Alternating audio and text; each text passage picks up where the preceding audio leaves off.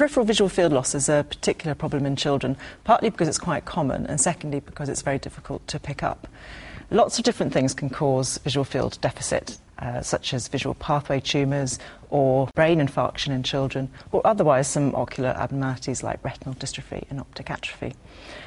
Our main problem with children, though, is that it's extremely difficult to pick up when these visual deficits happen, and that is why we have created KidzEyez.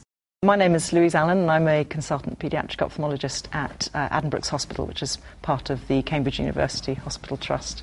At the moment, there's no other way really of testing visual fields in children besides quite a old-fashioned technique uh, using little finger puppets, where we look at we get the child's attention with one finger puppet and bring in the other one, and we see how they react to the other puppet.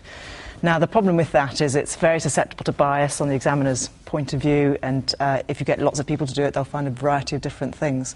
So, we want to try and have a more standardised test, uh, and that is hopefully what the KidzEyez perimeter will do for us. There have been a number of um, researchers in the past that have developed a similar sort of model for. Um, looking response for children, uh, but these have mostly been research tools. And what we wanted to create was a perimeter which is much more child friendly and can be used in a wider range of circumstances in most clinics or even in the community.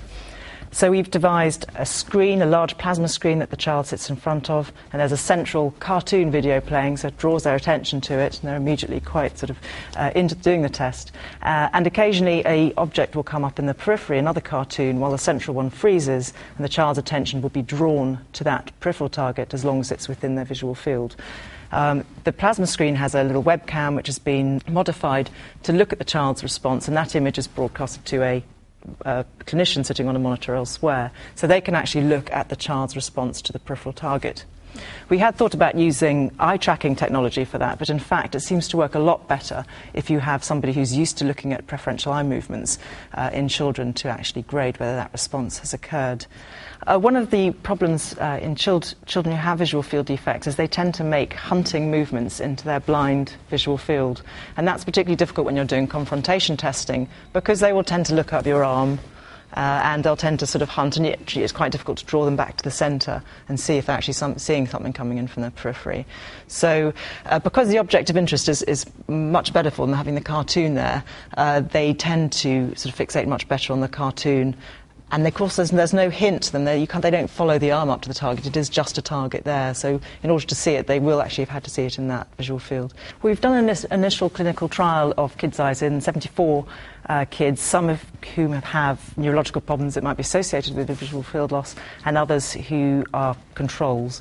And basically, we've shown the KidzEyez to be 100% sensitive and specific compared to confrontation visual testing uh, in those kids.